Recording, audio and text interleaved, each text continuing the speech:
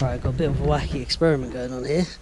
I need this piece of pipe to have a bit of a curve to it. Uh, gives me more space inside the uh, powerhouse. I don't really want to buy a 45 degree join because um, cause it takes up loads of space because the joins are massive. So I'm experimenting with this. Got that ratchet strap around there. Now I'm going to take it up to the chimney and put some heat on it off, off the top of the chimney.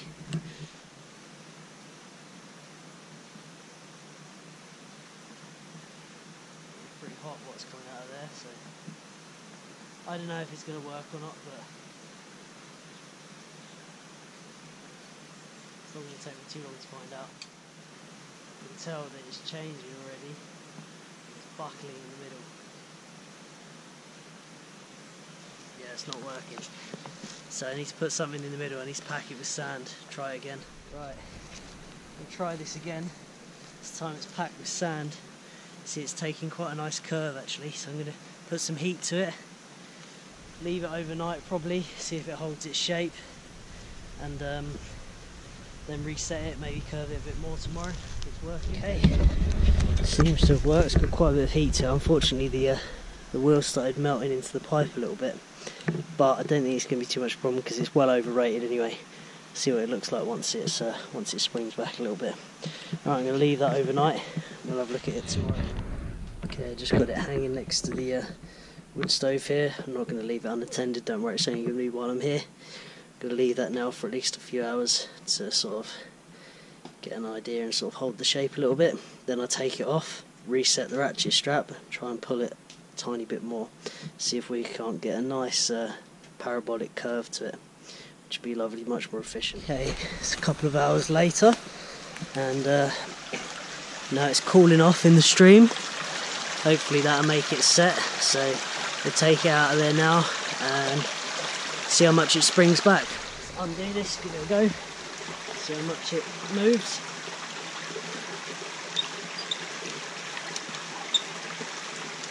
There it is.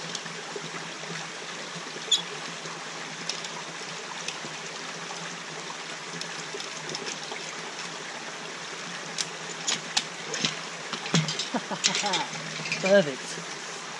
How about that? Right, I burnt it a little bit under here, but they don't go far, only a millimetre or something. So I'll probably just melt those back. I say this has only uh, got a couple of bar in it, and is 12 bar pipe, so it's not going to burst or anything. But it worked, check that out. Nice curve. So I empty the sand out of it, now that's going to be the piece that joins into the turbine, like that. Got nice, isn't it? Sweet! Okay, so I'm working on getting the uh, plumbing figured out and get the turbine mounted in here. So here's our bit of pipe that we ran. Sorry that we, we ran, that we bent on the video. Nice curve to it, it's exactly what I wanted. That's to go under there like that. Using 50mm pipe at this point and it eventually tapers up to 110mm. Shutter valve is going to be on the outside because it makes it hassle to put it inside. I have to put lots of bends in it and um, I don't want to do that. So that's going to be on the outside. It's actually going to sit right there. The rest of the pipe's going to go off under underground up there.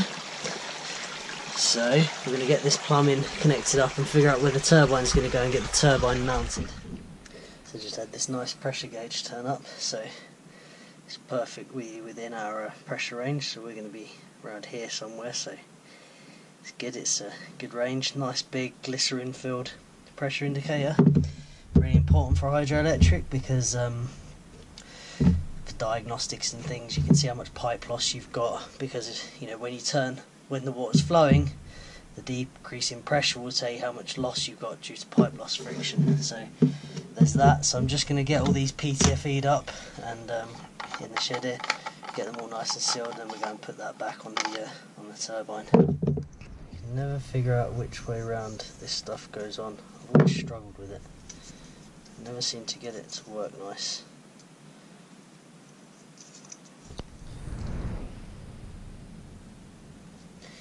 There we go.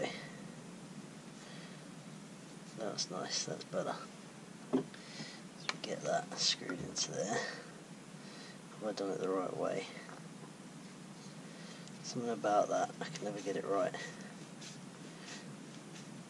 Tapered threads anyway, so it should bite. So I'm going to tighten that down, get this connected up, and then we'll have a nice pressure gauge. Apologies for the fact that it's a little bit dark. It's kind of late in the day. I've had uh, trouble today with um, with a courier company not delivering the pipe like they're supposed to. Just general aggravations and hassle. So, haven't had the best day. Somewhere around here. Let's see.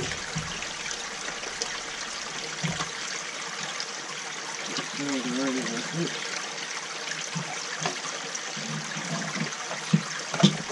But that is essentially essentially how it sits. Show you from out here.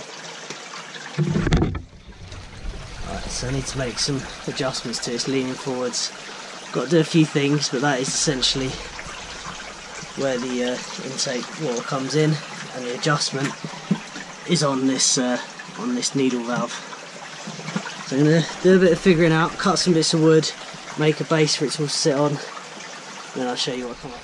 And if uh, anyone's wondering, so uh, why I've done it like this instead of using like flexible hose, it's because uh, I've got the least number of curves and I can use fairly large pipe for a fairly short distance. I've done my calculations of losses for, for this here, the rated power, and my loss is about uh, 300 millimeters of head for this bit here. And generally I've got about six five to six percent of full full um, rated power of losses in the pipe. So that's then going to taper up to the big pipe and get buried under all this mass to hold it all there so I'm going to cut some bits of wood and see if I can get this mounted in it. Also one thing I haven't shown you guys yet is that I changed the uh, the alternator for one that uh, spins a lot faster for the same uh, voltage. So now I should have the correct uh, RPM for the head that I've got and for the voltage that I want. So this is going to spin at about about 2000 RPM make quite a noise. It's also got nice couplings and everything on it so the um, everything is all lined up now. I did all of the I changed all the angle of this as well. So now the water jet hits it perfectly where it's supposed to. So yeah I did some modifications. I didn't make a video of it but it's modified now so all those initial issues are sorted out. So I've just uh, mounted two bits of wood in there. I'm going to get it mounted and screwed to there and then probably carry on uh, with it tomorrow because it's getting dark now Right, I'm running out of daylight fast here, so apologies for that. I'm just going to try and get this connected and at least sitting in here, and I'll carry on tomorrow. So this should sort of line up with this, with a bit of jiggery pokery.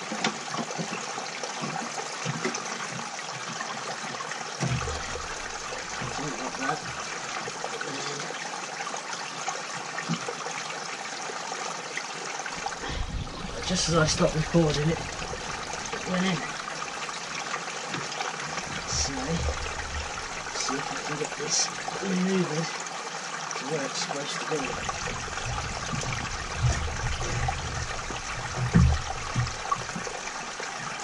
Something like that, not quite.